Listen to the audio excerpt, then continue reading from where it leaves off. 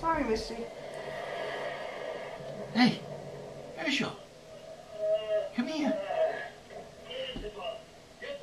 Go get him. Go ahead, go get him.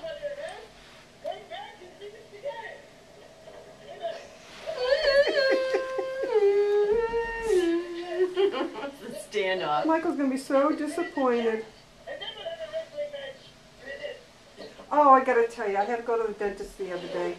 Of course, the dentist always asks for Brian because Brian doesn't go there anymore. And I think he's trying to get me to give him information. So, he says, how